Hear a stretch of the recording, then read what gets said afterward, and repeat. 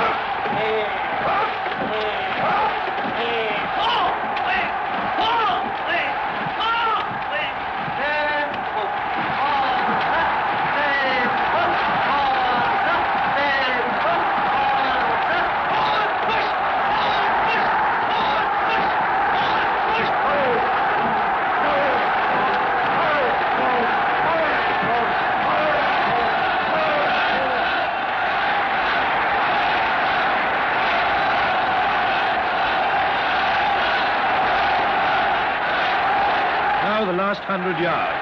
Great Britain leading on the far side, Italy coming up, Germany nearest to us third, Hungary fourth. But there's America away over there. Just in front to win by a yard. Italy second, Germany third.